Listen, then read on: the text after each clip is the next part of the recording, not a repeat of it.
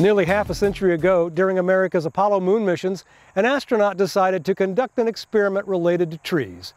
While his two colleagues were actually walking on the moon, Stuart Roosa was orbiting the lunar surface with seeds he had planted to determine if space would have an impact on germination. When they came back home, the seedlings were distributed around the country. Tennessee got four of them for a future of living, dying, and cloning. The classic architecture, a style similar to Oxford in England, brings a visual sense of sophistication to the University of the South in Sewanee, Tennessee. Founded just before the Civil War by the Episcopal Church, the campus is rich with history, and a part of that past remains in the present. A sycamore tree standing strong and tall, but still a stranger to some of the students. I just found out that it's called the moon tree, except I've never really heard much about it until right now, and I didn't know the story until a few seconds ago. You know, most students don't know it's here, you know, unless they walk by and read the plaque.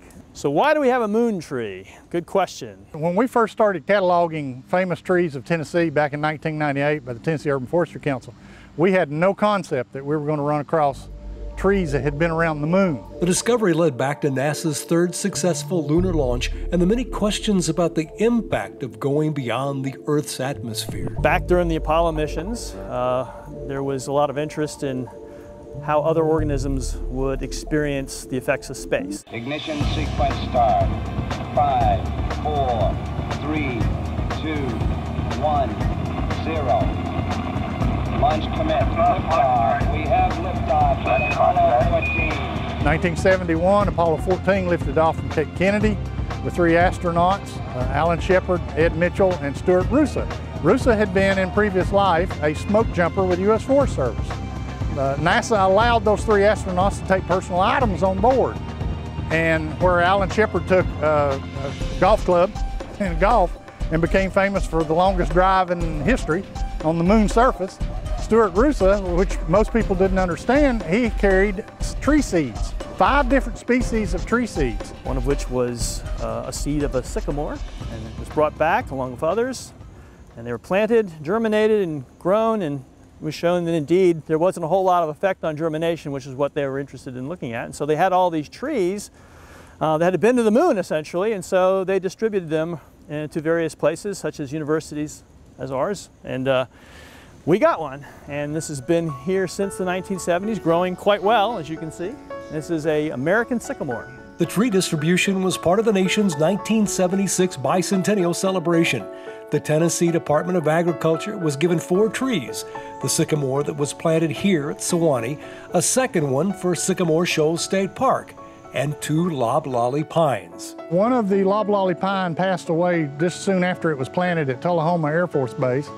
And the other loblolly pine, the remaining loblolly pine is doing quite well at the UT Arboretum in, in Oak Ridge.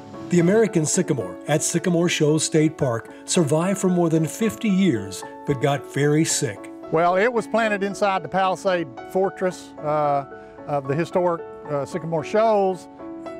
Human traffic compacted the soils around the tree roots, and so the tree started a basic decline over many, many years, and we were concerned that it was going to eventually die and we were going to lose one of the famous moon trees. It was a well founded concern because the tree did die and has now been reduced to a stump. But before its demise, foresters from the State Department of Agriculture cut wood samples from the tree and took them to the University of Tennessee Tree Improvement Program. We had uh, done our homework on sycamore and found that it rooted fairly easy. We didn't need to use rooting hormones or anything, just make sure that we collected the uh, cuttings at the right time of the year. Dr. Scott Schlarbaum immediately began the cloning process. I snipped them like that, and there you can see the first year wood, wood formed this year. And because this leaf is so big, I wanted to cut down on, uh, get a better root shoot ratio, so I cut the leaf in half. And then some of them I'd scrape it up a little bit just so any emerging roots could get through a little easier. And then I took them over to this bed of hemlock cuttings. So I just put them right in here. This is a misting bed. And left them there all summer. So toward the end of the summer of, of 2018, we uh, harvested, you might say, all of the rooted cuttings. There were nine. One uh, died after we uh, transitioned it, and they were about that tall. We took them out to the Plant Sciences Farm where we have facilities out there. When we get out there, you'll see the, the growth on these trees, and, and they're just spectacular. So as of right now, we've got eight clones of the moon tree, and I think two of them will be large enough to plant by the end of the summer and they can fall plant them. Oh, this is a fantastic project. I mean, he has preserved, he has helped us preserve a living species of tree that we could not have duplicated anywhere else. Had we lost the moon tree, it would have been gone forever. And then we'll keep two here uh, just in case something happens to those. We'll nurture those trees around, give them really good care, have, have them really healthy, and then if we need to take more cuttings, then we can. Back on the University of the South campus, cloning has not been necessary. The tree is still the original with the potential of surviving for hundreds of years. While not everyone knows about it, science students especially appreciate and respect the moon tree that lives among them. I really enjoy the tree. Uh, I'm in the lab a lot. I can see it out of some of the windows upstairs. I think there's something inspiring about um, exploration. Uh, I've always had a fascination with space. Of course, I've chose to study uh, biochemistry because I think there's also something uh, interesting inside of all of us and all living things for that matter. When I think about our American Sycamore here on campus, I'm really excited that we as a university had the opportunity to have this tree. I don't think any studies have shown that it's different from any other American sycamore, but what the Apollo program and the American Space Program in general gave the United States are these awesome satellites that give us the ability to see, map, and better understand our planet um, socially, environmentally, and just in general. So the tree sort of symbolizes what space can do for us back home on Earth. As someone who has to teach students about how plants are different from us, you use every angle you can get, and, and you know, you, it's because it's important. Even though you look around, it's, the world is green, and, and you can't miss plants, most people just take that for granted, and we call that sort of plant blindness. And so, you know, a story like this, where, you know, this tree was a fellow passenger with astronauts the moon, you know, it's engaging, it's exciting for kids. I think it definitely makes me wonder what else I'm missing besides this one tree right here and gets you kind of thinking about the rest of the campus and what other important plants and buildings and everything there are all around.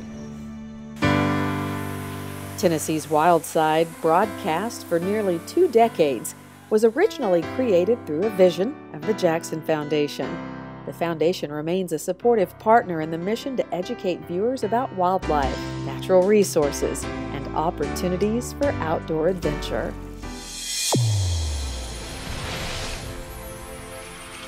Wildside is produced by Rockwater TV with support from Tennessee State Parks, where you can discover our state's diverse heritage through spectacular landscapes, family friendly recreation, and affordable lodging. Tennessee State Parks, fun and adventure naturally.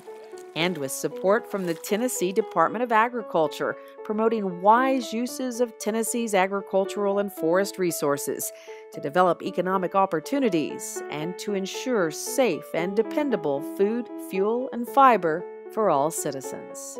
And also with support from Nissan, working together with the Nature Conservancy to fulfill its mission of conserving land and water on which all life depends, and now celebrating 40 years of conservation in Tennessee.